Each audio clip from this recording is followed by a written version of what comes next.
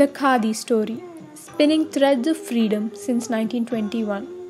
Khadi or Khaddar is the hand spun cotton weave of India.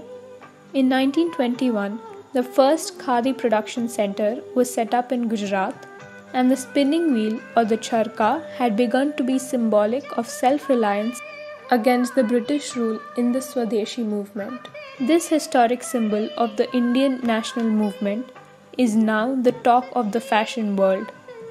It is the only fabric where the play of texture is so unique that no two fabrics can be the same, and it nearly has a zero carbon footprint and is completely natural. The textile is often still hand woven and gives livelihood to many Desi artisans. So, the next time you're looking for a one of a kind outfit, choose Khadi. iDesign wishes you happy 77th Independence Day. Jai Hind.